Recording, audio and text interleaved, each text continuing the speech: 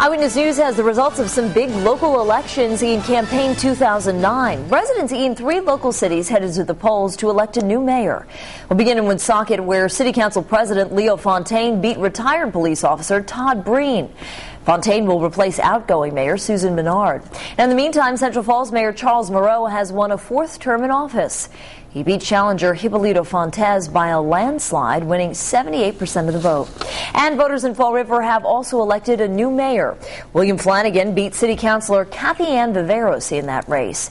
And in the meantime, some elections around the country could cause changes in Washington. Voters in both Virginia and New Jersey elected Republican governors, and it's the first time in 12 years that New Jersey will have a Republican leader. The White House press secretary tells reporters that these two elections represent local issues and will not affect President Obama.